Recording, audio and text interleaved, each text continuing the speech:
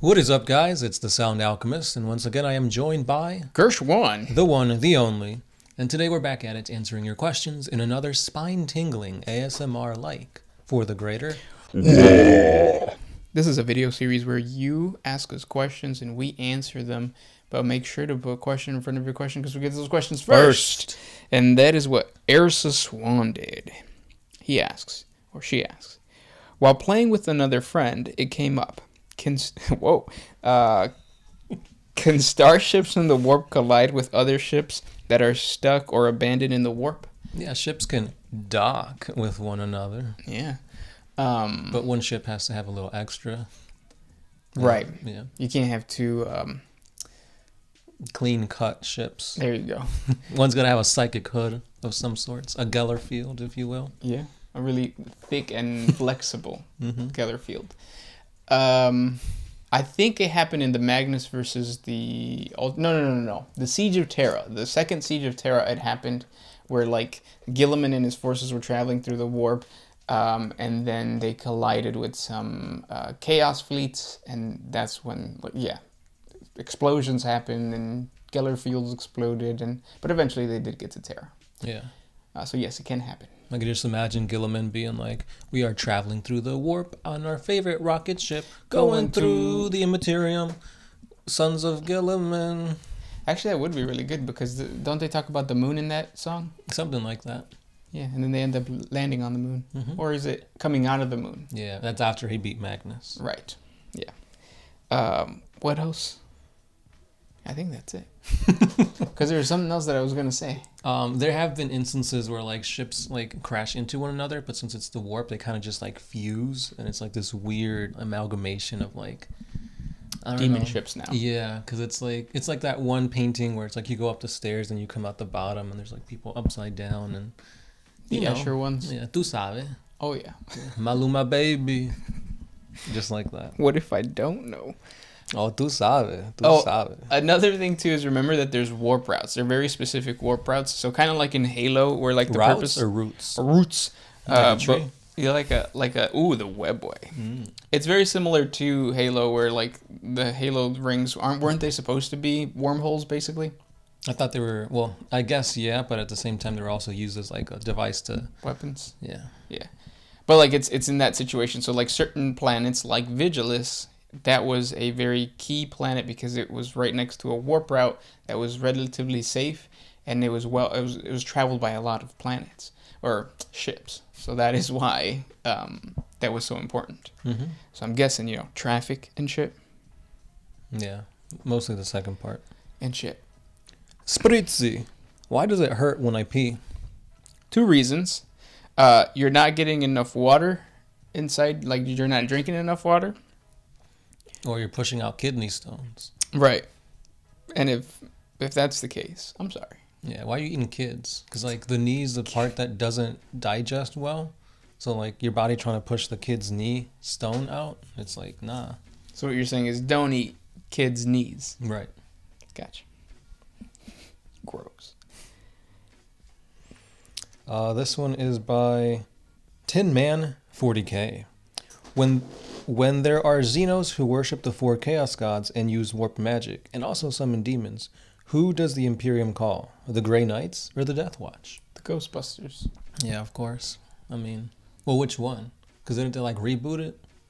Uh, I don't know what the oh yeah the girl one that nobody liked right. Yeah, I heard it was really.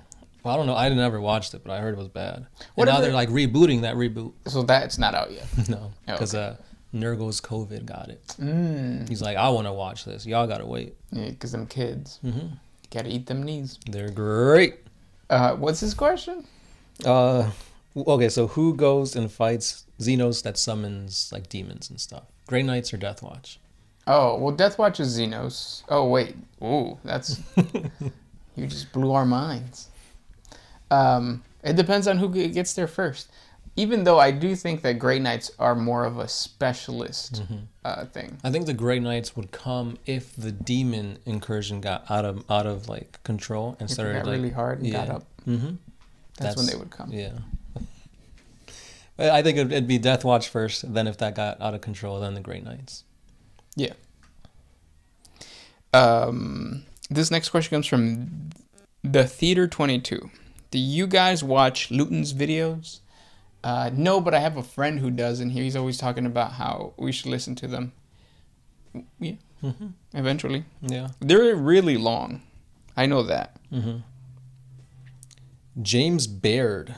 Are there any Xeno factions that have good relationships, like trade and assistance in troubled times?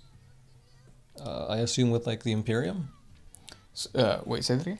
Are there any Xeno factions that have good relations, like trade and assistance in troubled times? Gotcha. Um, not with the Imperium. Mm. Or at least not with like the.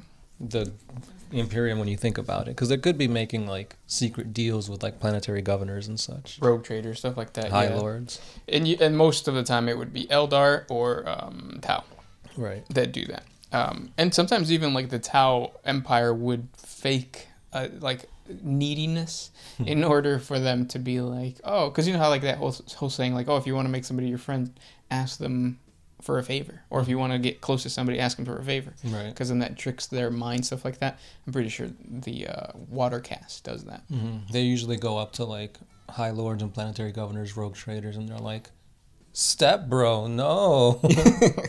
I'm stuck. um, yeah.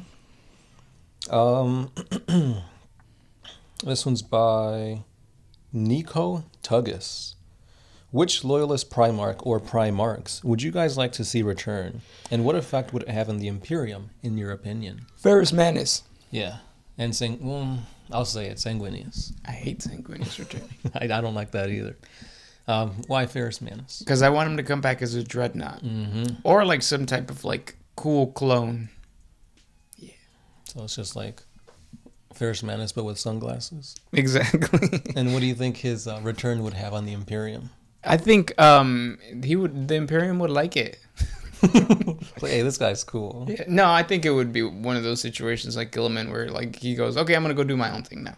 I'm gonna get my boys, the Iron Hands, and their successor chapters, and we are gonna go do our thing. We're gonna talk about how flesh is not weak. Yeah, I guess it would be interesting because it would either empower the Adeptus Mechanicus or cause friction to the point where like the High Lords would be raising their eyebrows and being like, "Why is, why is Ferrus Manus this Primarch being so close to the Adeptus Mechanicus, who is supposed to be independent? They worship something that's not really the, the God Emperor, the Omnissiah. So I think that's the impact. Yeah.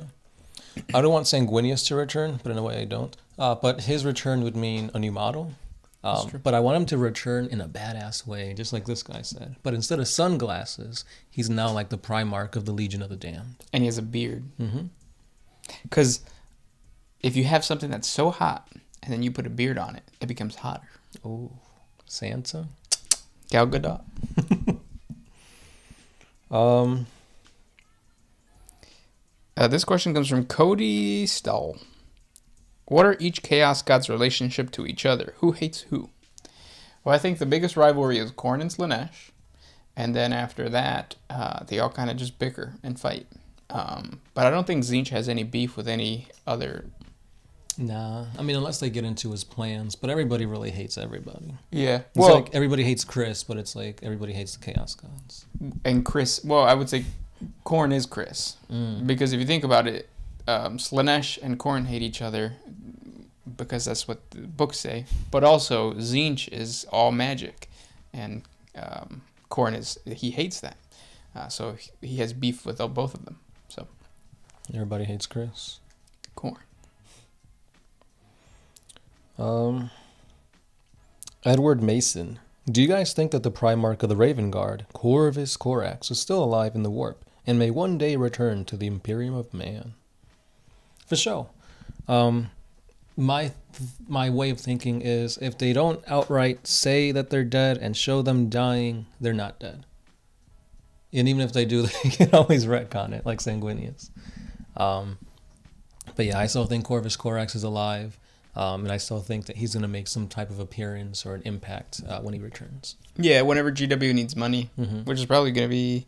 Well, I don't need. I think GW's doing good, especially because the Indominus box set like sold out Mm-hmm. right away, and then all those extra boxes that people bought that ended up being like, oh no, it's just an extra box you have. That's very sneaky of you, GW. um, but yeah. Next question. This one again from Cody Stall. Have you guys ever considered doing a D&D campaign set in the 40k universe? Also, how fucking awesome would that be? I way. Yeah, I have. we kind of did one, right? yeah.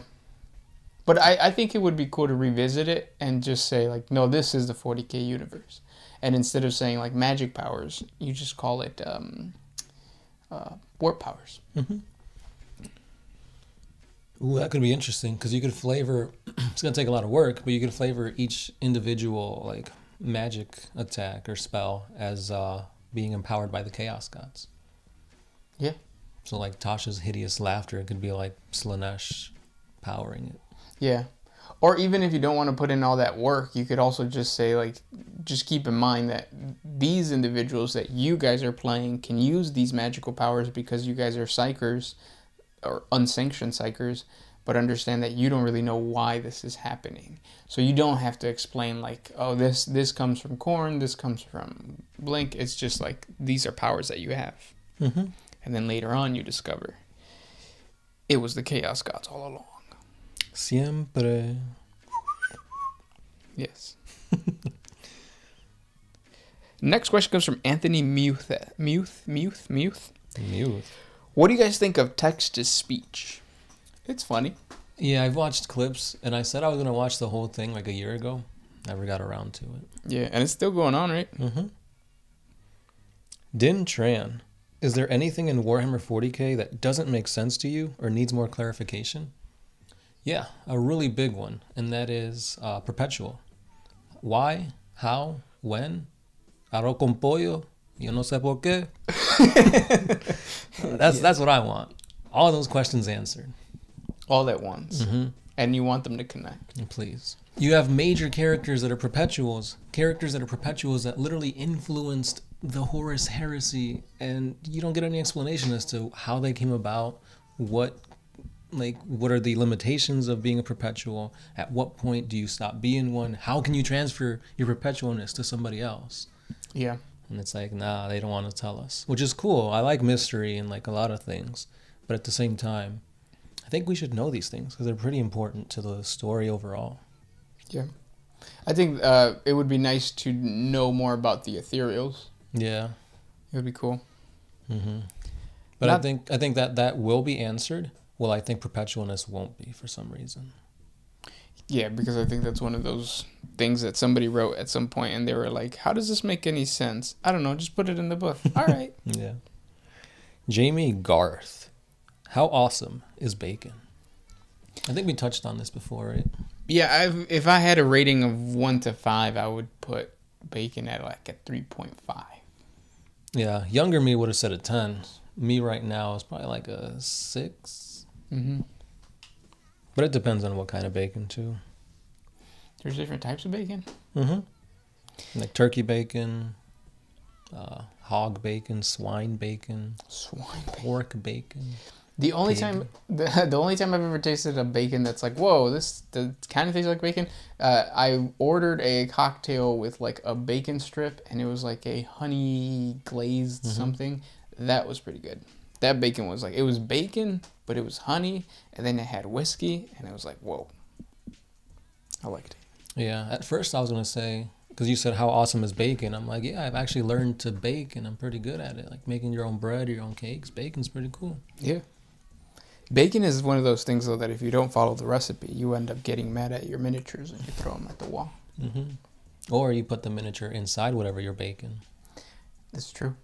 I was at uh, Michael's the other day, and I went into the bacon aisle, and um, they have like little molds, um, or they have like this plastic jelly that you heat up in the microwave, and then you can make molds. So you can basically, you know, um cook something with a certain design. We should try to do like recasts of miniatures, but made out of chocolate with that thing. That'd be badass. hmm I thought you were going somewhere else with it, but sure. Yeah, well, I mean, because this it's really hot. I mean, that's why you gotta do it. No, sometimes sometimes hot is okay. I mean, wax Oh, but on there, oh, inside of there. Ooh, Ooh. imagine if it gets inside. Whew. It's gonna come out looking like a like a ant hill. Because you know when like people pour like Oh. the metal inside the ant hills and they pull it out and it's all like squiggly. Yeah, That's, gross. That's how my urethra is. has different pockets. Mm-hmm. Because sometimes some of it stores pee, some of it stores something else. So it's Mm. like I squeeze one way and the pocket like shuts and it. So your urethra is connected to your balls. Mm-hmm. Oh yeah, how would the pee? yeah, that's where the pee is stored. Right. Yeah. Um, Because like the neck bone's connected to the leg bone. Right. Um. Ty Shingleton. Obviously, GW needs to keep fresh models in rotation, but with the Imperial technology declining, how will they introduce new models that aren't just STCs or old tech? Well, they did it with the Imper- uh, with the, The Primaris, Primaris, Marines. yeah. They did it with the uh, Adeptus Mechanicus. Mhm. Um, and yeah, they just come up with like random things that don't feel right, but you just go, okay, cool. Yeah, Uh, Belisarius Cawl has been around for ten thousand years. Okay, sure. yeah. He was got- never a fabricator general. Okay. right. He's got like surrogate bodies, and he's really only just a brain. Yeah, okay. I've got just a brain. Mm-hmm. Uh, this question comes from Elliot Figueria. Has anyone ever tried to map the warp? Uh, no. That's like trying to map my urethra. It's impossible. Unless you get something that's really, really hot and then you put it down through the eye of terror. Mm-hmm. Next question. Is that what you're gonna call your urethra from now on? Your eye of terror? Yeah. Uh, but yeah, the warp is impossible to track, to pinpoint, to map because it's ever changing, ever flowing, always has been and never was. Even the gardens of Nurgle, the palace of Tzeentch, it's constantly changing. Yeah. Hopefully that's a little better than no, unless you, you pour something hot on it. Yeah. Uh, next question. Uh, oh, we already did that one. We did that one as well. I have one from. Nope, we did that one. Ty Shingleton, what has been a few of your favorite questions to answer? The anatomy ones are always fun.